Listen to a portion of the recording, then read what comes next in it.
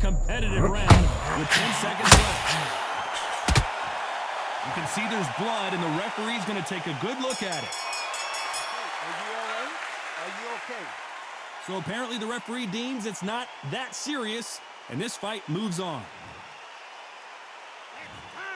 What would you tell?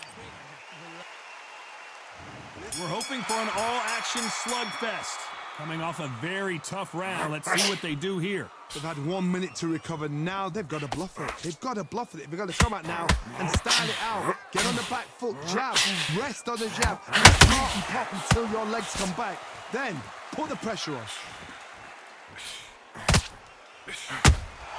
Perfect counter lands.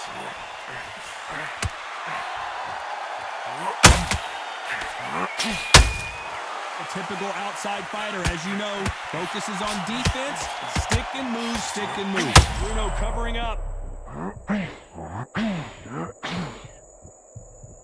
How did they survive that?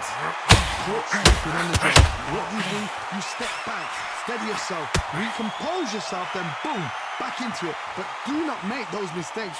This is the wrong place to fall asleep. Well done with that counter shot. A real good back and forth between these two fighters. Very close match.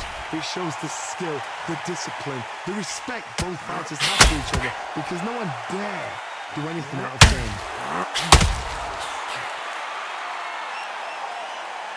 This is some of the best. Oh, we don't talk about Bruno.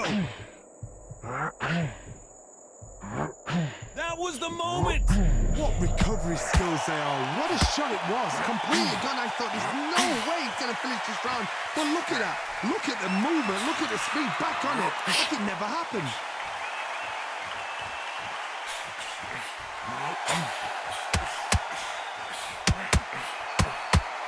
You can tell who's stronger and who's faster. Very close round with 10 seconds to go.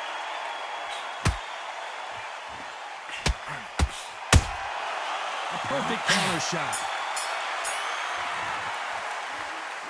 At this point, we're hoping for an all-action slugfest. Not the start that they wanted, but let's see what they can do in this round. Well, Johnny, we're a couple... They are going to surrender. No más.